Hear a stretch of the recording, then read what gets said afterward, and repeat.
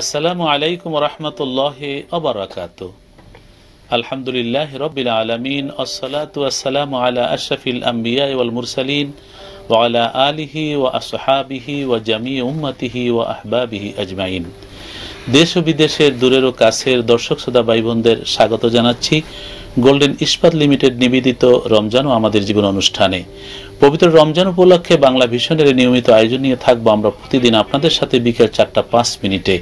আজ আমরা আলোচনা করব অর্থনৈতিক ও সামাজিক উন্নয়নে জাকাতের ভূমিকা। আর স্টুডিওতে আজকে আপনাদের সাথে রয়েছি আমরা তিনজন।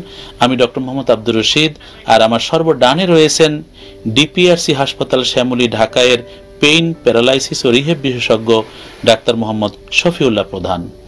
আসসালামু আলাইকুম রহমতুল্লাহ আবরাকাত আমাদের সাথে রয়েছেন বিশিষ্ট ইসলামী ব্যক্তিত্ব আলেম ফকিহ আল্লাহ মাওলানা কাজী আবু হরায়রা যিনি বাংলাদেশ জাতীয় ইমাম সমিতির সম্মানীয় সভাপতি। আসসালামু আলাইকুম রহমতুল্লাহ ওবরকাত। দর্শক শ্রোতা বন্ধুরা আজকে তেইশ রমজান রহমত মাগফেরাত ও নাজাতের মাস রমজান। রমজানের শেষ দশক নাজাতের সে নাজাতের দশকের আজকে তৃতীয় দিবস তেইশে রমজান।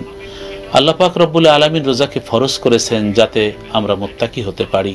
আল্লাহ পাকের খলিফা হওয়ার মর্যাদায় অভিষিক্ত হতে পারি। রোজাদার, রোজা পালন দ্বারা আল্লাহর প্রিয় পাত্র হন, রসুলের প্রিয় উম্মত হন।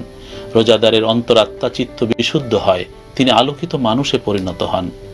রোজা অত্যন্ত কল্যাণকর স্বাস্থ্যের জন্য যেমন, রোজা মন এবং মানুষের জন্য অত্যন্ত কল্যাণকর। ইহকালীন কল্যাণ যেমন রয়েছে রোজায় পরকালীন মুক্তি রয়েছে, এর মধ্যে নিহিত। রমজান শেষ হতে চলছে। যারা এতে এতেকাফে রয়েছেন মসজিদে, কত সৌভাগ্য তাদের যে তারা প্রতিটি দিন, প্রতিটি রাত, প্রতিটি মুহূর্ত এবাদাতে, সবে কদর তারা লাভ করবেন। আমরা যারা রয়েছি, আমরা যেন না ভুলে যাই প্রতিটি রাতে বন্দিগি করতে, বিশেষ করে বেজর রাতগুলোতে সবে কদর যাতে আমরা লাভ করতে পারি। রসুল সাল্লাহ আলাইহি ওয়াসাল্লাম বলেছেন, সবে কদর যে পেল না সে বিশাল এক আল্লাহর কল্যাণ থেকে বঞ্চিত হলো। আমরা যেন কল্যাণ থেকে বঞ্চিত না হই। করোনা পরিবেশে এসেছে রমজান। রমজান এমন এক সময় চলছে যখন সারা পৃথিবী করোনা আতঙ্কে আতঙ্কিত। অনেক লোক এন্তেকাল করেছেন। তিন লক্ষ ছাড়িয়ে গেছে এই এন্তেকাল তারা করেছেন নানা দেশে, নানা জায়গার বিভিন্ন মানুষ আল্লাহ তাদের মার্জনা করুন। আর অসুস্থ রয়েছেন প্রায় পঞ্চাশ লাখের মতন মানুষ। আল্লাহ তাদের দ্রুত আরোগ্য দান করুন। আমরা আমাদের দেশবাসী এবং পৃথিবীবাসী মহান আল্লাহ সবাইকে করোনা সংক্রামক ব্যাধি বিপদ আপদ বালা মুসিবত থেকে আল্লাহ পাক হেফাজত করুন। আসুন আমরা আজকে আলোচনায় প্রবেশ করি। আসসালামু আলাইকুম রহমতুল্লাহ। ওয়ালাইকুম আসসালাম রহমতুল্লাহ। আপনার পরিচয় দিয়ে প্রশ্ন করুন। জি আমি উত্তর থেকে বলতে আমার নাম মোহাম্মদ আগরওয়ারি আমার তিনটা একটা প্রশ্ন। হার্টের সমস্যা লিভারের সমস্যা এবং আমি ডায়াবেটিসের রোগী। আমার পক্ষে রোজা কখনো করা সম্ভব নয়। রোজার মাসে এবং রোজার পরের মাসে ডাক্তারের পরামর্শ অনুযায়ী। জি যে ভাই প্রশ্ন করলেন হার্টের অসুখ লিভারের অসুখ ডায়াবেটিসের অসুখ ডাক্তার বলেছেন যে আপনার রোজা রাখা সম্ভব নয়। তাহলে আমরা আর কি করব? ডাক্তার তো বলবেন ডাক্তারের উপরেই তো সিদ্ধান্ত নিতে হবে। আপনি আহ, দিনদার যিনি ইসলামের প্র্যাকটিস করেন এমন দিনদার এবং একজন বিশেষজ্ঞ ডক্টরের পরামর্শ নিন যে এইগুলো থাকা সত্ত্বেও বহু লোক রোজা রাখছে। তাদের হার্টের প্রবলেম আছে হয়তো এনজিওপ্লাস্টি করেছে রিং পড়ানো রয়েছে অথবা লিভারে ফ্যাট জমেছে সমস্যা আছে ডায়াবেটিস আছে তাদের খাবারের আগে নয় দশ খাবারের পর চোদ্দ পনেরো থাকে। এমন লোকও রোজা রাখছেন তারা ডাক্তারের পরামর্শেই রাখছেন। অর্থাৎ ব্যাপারটা স্বাস্থ্যের সাথে জড়িত যেহেতু স্বাস্থ্য সংক্রান্ত একজন বিশেষজ্ঞের পরামর্শ নিয়ে আপনি সিদ্ধান্ত নিন যিনি দিনদার। আর আপনি একটু যোগ অবশ্যই বলব আসলে এই যে রোজার যে মেডিকেল বেনিফিট এটা কিন্তু আমার কথা না রিসার্চ ওয়ার্ক সারা বিশ্বের বড় বড় ডাক্তার স্কলার যারা মেডিকেল সায়েন্সের সাথে জড়িত ডাক্তার এবং যারা দিনদার আপনি বলছিলেন রিসার্চ ওয়ার্কে আসছে যে এই যে রোজা পালন করা আমাদের শরীরের জন্য অনেকগুলা বেনিফিট আছে। তার মধ্যে এক নম্বর হচ্ছে ডায়াবেটিস কন্ট্রোল করে। মানে এই যে ফাস্টিং ডায়াবেটিস কন্ট্রোল কন্ট্রোল করে আমাদের ইনসুলের সেন্সিটিভিটি বাড়ায়। নাম্বার টু খারাপ কোলেস্টেরল লো ডেন্সিটি লিপোপ্রোটিন এবং ট্রাইগ্লিসারাইড দুইটার মাত্রা কমায়। আর আর এই দুইটা কিন্তু ওনার সাথে কিন্তু আসলে জড়িত। তা আমার মনে আপনি যেটা বলছেন আসলে একজন বললে বলে দিল একজন ডাক্তার তার উপরে মানে একেবারে একই না করে যেহেতু পৃথিবীটা ওপেন আমরা জানার অনেক জায়গা আছে এবং কি ইন্টারনেটে জায়গা জানা আছে। আমার মনে হয় উনি ট্রিটমেন্টটা যদি ঠিকমতো করে আর যদি রোজা রাখে আমি বলব লাইভে বলছি যদি রোজা রাখে ওনার এই তিনটা রোগী আল্লাহ রহমতে ইমপ্রুভ হয়ে যাবে। জি। ধন্যবাদ আপনার তবে যদি দিনদার এবং বিশেষজ্ঞ ডক্টররা বলেন যে কোনো অবস্থাতেই তুমি রোজা করতে পারবে না, এটা বছরের পর বছর, বছরের পর বছর। আপনি এত অসুস্থ হন যদি মানে আপনাকে রাখবার মতন অবস্থা নেই, জীবন এখানে সংকটে দাঁড়িয়ে যাবে, তাহলে রোজার পরিবর্তে ফেদিয়া বা একজন গরিবকে খাওয়াতে পারেন।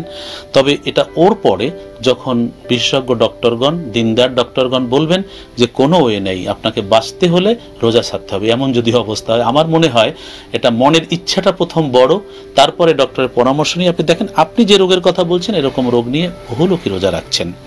জি, আপনি আমাদের অনুষ্ঠানে আছেন, আলহামদুলিল্লাহ। তো এখানে পেইন প্যারালাইসিস রিহেব আমাদের যেটি রমজানুল মুবারকে যা অনেক রোজা রাখছেন, তারা পেইনে কষ্ট পাচ্ছেন, কোনো ব্যথা বেদনায় কষ্ট পাচ্ছেন। তো এ বিষয়ে খাদ্য খাবার আমাদের কীভাবে চলতে হবে, অথবা বেদবেদনা বাত রোগ শরীরে সৃষ্টি না হয়, কারণ বাত রোগ মানুষকে তো অকর্মা, অকর্মণ্য করে ফেলে। ধন্যবাদ আপনাকে এবং বাংলা ভিশনকে অসংখ্য ধন্যবাদ জি। খুবই গুরুত্বপূর্ণ একটি বিষয়, যেখানে ইসলামের সাথে যে হেলথ রিলেটেড বেনিফিটটা আছে। আসলে এই যে আমাদের রমজান, বা আমরা যে সিয়াম পালন করি, বা আমরা ইংলিশে ফাস্টিংও বলে থাকি, যে না খেয়ে থাকি দীর্ঘ সময়, এটা আমাদের এর আগে আমি বলছিলাম যে একটা রোগীর প্রশ্নে যে মেডিকেল বেনিফিট দেয়। প্রথম কথা হচ্ছে ব্যথা কেন হয়? যদি আমি সেদিকে তাকাই মোস্ট অফ দ্য কারণ হচ্ছে কিছু ডিজিজ আছে যেগুলো আমরা বলি নন কমিউনিকেবল ডিজিজ যেমন এখন করোনা এই করোনা হচ্ছে কমিউনিকেবল ডিজিজ মানে ছোঁয়া আছে। বা আপনার থেকে আমার আসতে পারে, আমার থেকে আরেকজন, এভাবে। বাট নন কমিউনিকেবল ডিজিজ যেটা আপনার শরীরে আছে, আমি আপনার সাথে শুয়ে থাকলেও আমাকে ধরবে না। তো এই যে নন কমিউনিকেবল যত ডিজিজ আছে পৃথিবীতে, তার মধ্যে সবচেয়ে বড় কমন ডিজিজ সকল রোগের মা যাকে বলা হয়, সেটা হচ্ছে ডায়াবেটিস এই ডায়াবেটিস বলেন, তারপরে ব্যথা বেদনা হতে পারে হার্টের যদি কোনো রোগ হয়, এই হার্টের রোগ থেকে কার্ডিওভাস্কুলার সিস্টেম যখন অকেজ হয়ে যায়, রক্ত চলাচল ঠিকমতো না হয় তা থেকে ব্যথা বেদনা হতে পারে, ডায়াবেটিস থেকে ব্যথা বেদনা হতে পারে এবং ডায়াবেটিস বা অন্যান্য রোগ থেকে আস্তে আস্তে আমাদের মাংসপেশিগুলা, নার্ভাস সিস্টেমগুলা দুর্বল হয়ে পড়ে, আস্তে আস্তে। তা থেকে আমাদের ব্যথা বেদনা হতে পারে। তারপর হচ্ছে আমাদের শরীরের যে বোনস আছে, হাড় এই হাড়ের যখন বয়সজনিত ডিজেনারেটিভ চেঞ্জ আসে এইজিং প্রসেসজনিত, আমাদের বিভিন্ন রোগ, শোকে বিভিন্ন ইনফ্লামেশনে দীর্ঘদিন খাদ্যাবসে খারাপ খাদ্যাবসে আমাদের শরীরের মধ্যে ইনফ্লামেশন হতে থাকে। যেমন আমরা বলি চিনির কথা যেমন আমরা বলি অ্যালকোহল অ্যাবিউজ মানে মদ্যপান মাদক। তারপরে বিভিন্ন আপনি জানেন ইয়াবা গাঁজা হেরোইন অল ড্রাগস এগুলো আমাদের শরীরে বিভিন্ন ইনফ্লামেশন তৈরি করে। বহু খাবার আছে যেটা শরীরে ইনফ্লামেশন তৈরি করে যেগুলা খাবার থেকে আমাদের শরীরে ব্যথা আসে। তো পবিত্র মাহে রমজান এর মাধ্যমে আমরা যদি রোজা পালন করি ঠিকমতো, আর অন্তত আমি এর আগে বলছি আসলে আমাদের বাংলাদেশে ওজন বেড়ে যায়। তো বিকালবেলা অন্তত একটু সাবধান ওই খাবারের ক্ষেত্রে আমরা যদি স্পেশালি সুগার জাতীয় সকল খাবার যদি আমরা অ্যাভয়েড করি স্পেশালি হোয়াইট পয়জন যেটাকে বলা হয় সাদা চিনি খুবই খারাপ একটা জিনিস যেটা আমাদের শরীরে ইনফ্লামেশন তৈরি করে। এগুলা না খেয়ে আমরা ন্যাচারাল খাবার খাই। যেমন আমাদের এখন তরমুজ পাওয়া যায় আমাদের আমাদের সিজনাল সকল ফল আছে যা ডায়াবেটিস নাই আম চলে আসছে অলরেডি তারপরে হচ্ছে আমাদের বাঙ্গি তারপরে আপনার সাথে যুক্ত করি। জি। এগুলো তো আমরা খাব কিন্তু আমরা এমন একটা পরিবেশে আছি জি। যে তরমুজ কাটার পরে দেখা যায় যে সেখানে কালো হয়ে আছে ইঞ্জেকশনের মাধ্যমে কিছু সেখানে প্রবেশ করিয়েছে।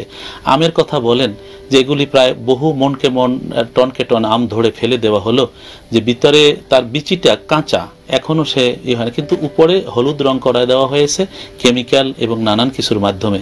তো এই পরিস্থিতি, পরিবেশে এইসব জিনিস খাওয়াও তো আরও এক আরও একটা মৃত্যুর কারণ হয়ে দাঁড়ায়। অবশ্যই, খাবার যেমন আমাদের শরীরের জন্য উপকারী আবার যে খাবারগুলোর কথা আমি বলছি যে ব্যথা বেদনা তৈরি করে। ফোন নেই আপনি এই যে ভেজাল এই সম্পর্কে একটু বলবেন আচ্ছা, আসলে খাদ্যের বিষয়ে।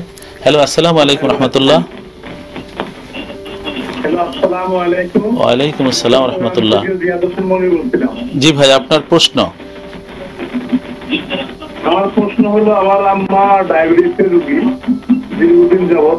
ওনার ওই যে কিছুদিন যাবৎ হাঁটুতে ব্যথা আছে আবার আঙ্গুলে ব্যথা আছে হাঁটু ফুলে যায়। আবার এক সপ্তাহ ভালো থাকে, আবার আট সপ্তাহ ব্যথা এরকম আছে আর একটা প্রশ্ন ছিল আমার আম্মু আমার বাড়ি ভোলা, ভোলার থেকে আমার আম্মু আসছিল চট্টগ্রামে। মানে সে নামাজ পড়তে পারে নাই।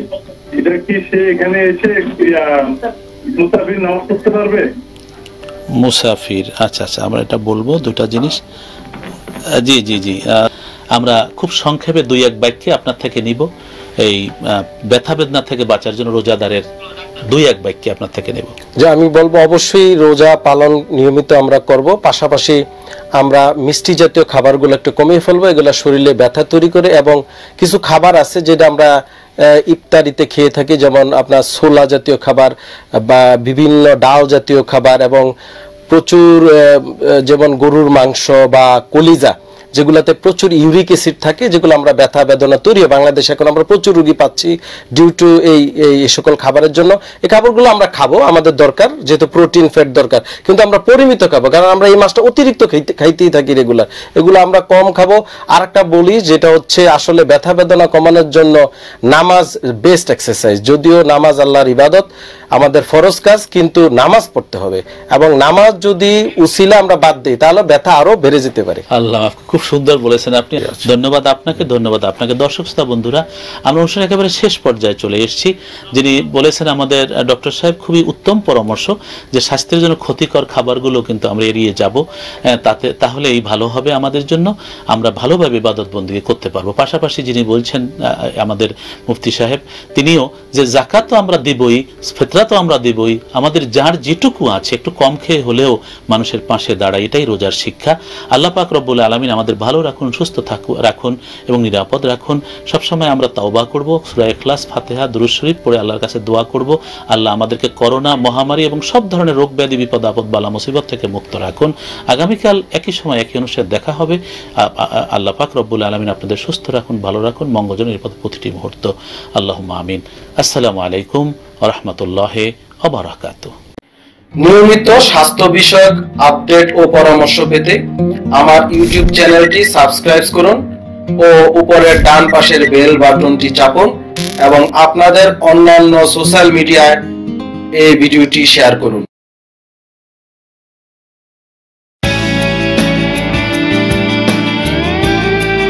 আমরা জানি আপনার প্রিয়জন আপনার জন্য কতটা গুরুত্ব বহন করে। আর তাই সঠিক ডায়াগনস্টিক রিপোর্টের জন্য আপনারা আমাদের কাছেই আসে আমরা বিশ্বাস করি প্রপার ডায়াগনোসিস কনসালটেশন পেইন ও প্যারালাইসিস চিকিৎসা, পুনর্বাসন আমাদের সব আয়োজনই সবসময় আপনাদের জন্য চব্বিশ ঘণ্টা খোলা।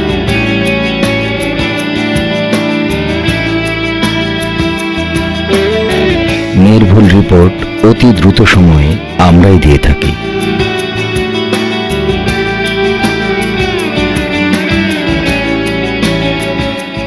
আমরা চাই না আপনারা বারবার আমাদের কাছে ফিরে আসুন তবুও আমরা আছি সব সময় সর্বদা আপনাদের পাশেই। DPRC hospital and diagnostic lab আস্থা বিশ্বাস ও নির্ভরতায় অবিচল।